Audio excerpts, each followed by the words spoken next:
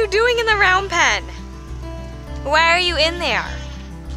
He says, I don't know. you are so goofy. What's up guys, it's Laina, and today I'm going to be doing another non-riding vlog, just because I am pretty tired today, but I'm going to be rearranging my arena. Um, and by rearranging, I mean moving around my ground poles and stuff. So I think that'll be kind of an interesting vlog, and yeah, that, that panel is bent. It's called, we have a Haflinger who leaned on it. But yeah, I think it'll be kind of fun for you guys to see what that looks like. And I don't know what I'll even be doing with it, but let's go. Alright guys, as you can see, my arena is kind of chaotic today. Um, it's called, I had stuff all piled up and the wind came in. So there's a ground pole way out over there. There's a ground pole there. There's two ground poles here. Um, and then I have my various things I've been using for jumping. Um, these are my rail raisers. I love these. They're for, they're like little tiny jump standards that you can stack. Each one is four inches tall. They're mainly supposed to be used for cavaletti, but I have enough of them I use them for jumping. But they're pain in the butt to stack sometimes because they stick. And here's the other one. I want to get these all together because I have literally lost these things because they're so they're little. They're not that big. They're only four inches tall. I've actually lost some of these in the field, and then it's taken me ages to find them. What are you doing? Teddy bear, don't. Okay, so let's go move the rail raisers. I'm not gonna use these, I don't think, because I really don't need them in the arena. So we're gonna go put them out in the uh, pile of stuff I don't need, which is right over the fence. Ta-da! One object down, several more to go. Please excuse Adel's moth-eaten state. He is uh, finally just now starting to shed. He is an Icelandic pony for those of you who do not know. And he is always been a late shedder.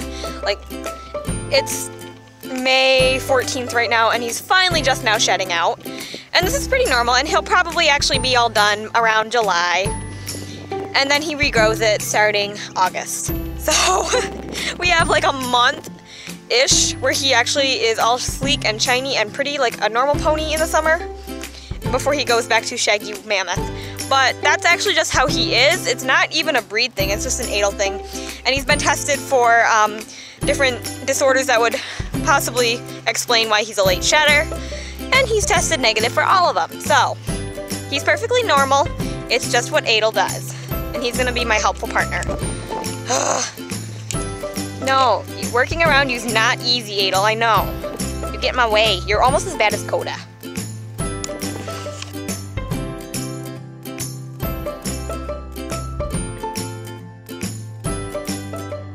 Okay, so I've decided that I actually don't want my, sorry, there goes my lens cap, these barrels in here because um, with the wind lately they've been blowing around and, Adel!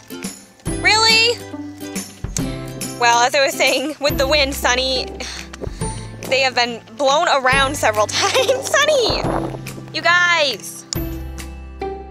Alright, as I was saying, lately with the wind, these things have been blowing around and I um, don't really think I want them ending up in Timbuktu. So I think I'm going to take these out of the arena for now, tie them with the third barrel and put them where they can't blow away. That is, if someone would leave them alone. You're naughty. You are so naughty. Haha, -ha, I got the barrels. So we are on the other side of the fence. And there's my third barrel. I have three of these barrels. I used to have four. The fourth one popped. Oops, sorry. There goes my lens cap again. I don't know where the lid for that one is. Usually I have them filled with water. There's my little string.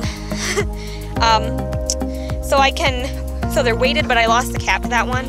And I don't really feel like lugging these barrels around when they're full of water.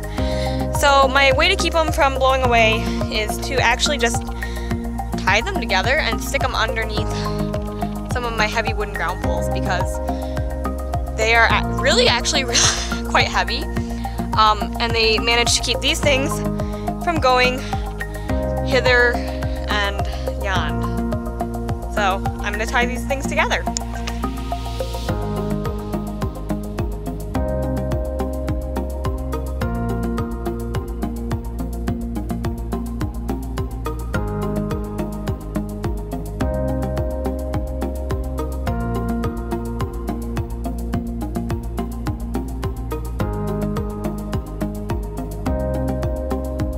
All right, I got the barrels tied up and made sure that they cannot blow away.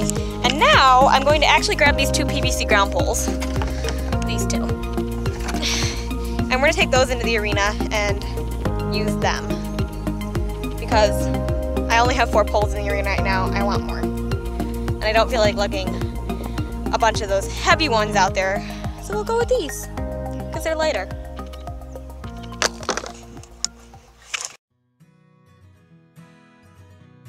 I don't know if you guys can tell, but that, do you see the white little posts sticking out of the ground? Those are temporary fence posts. We currently have a temporary fence up for um, the spring. We usually we do it every spring. That way, when we turn our horses out into the field for the first time, they cannot actually go that far because I prefer to chase my horses in an area that size, not this size, in the first couple weeks. And our horses, they all know to come in because they get um, a little bit of oats when they come in. But it is very tempting when you are first out on pasture for the first time um, in the year to just stay out in the pasture and not bother coming in. Adel. So we do have a smaller area just so I don't have to go um, trekking over a seven acre field to catch the horses.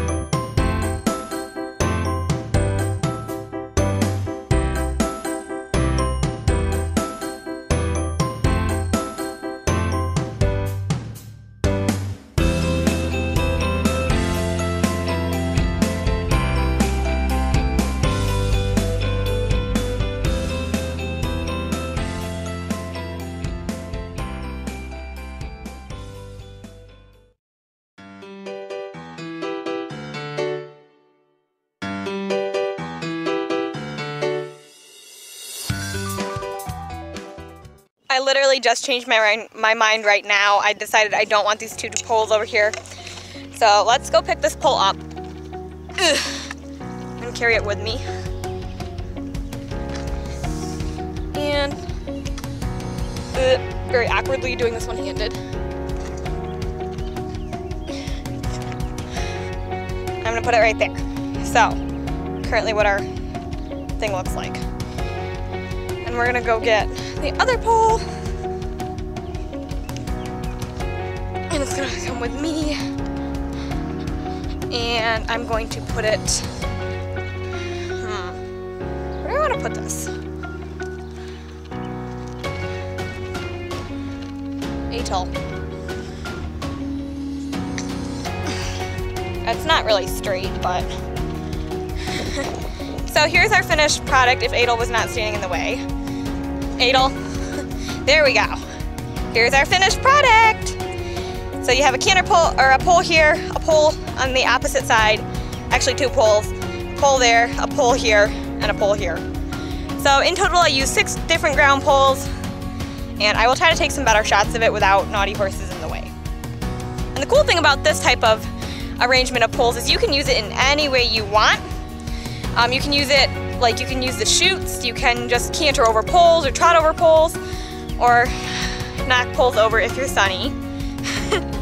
but it's I like doing stuff like this with my ground poles rather than just having trot poles all in a row or having canter poles all in a row or jumps all in a row because this really makes you as a rider come up with ideas under saddle and it also makes it um, less conformative so you don't like always have your trot poles set exactly um, don't know, how big is how big is a trot stride? Like three feet apart?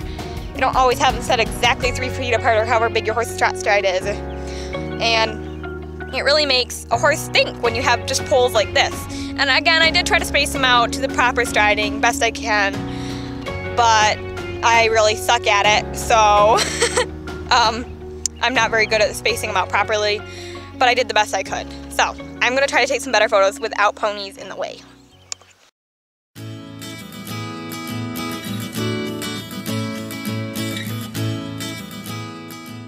You think, Koda? What do you think of Mom's new creation? He says, I don't know. He says, do I have to go over that? You're almost too short to do that, buddy. He says, no, I'm not. Lovely shot of Dakota here. Mr. Pretty Boy. Are you guys ready to be fed? He says, feed me, Mom, I'm hungry.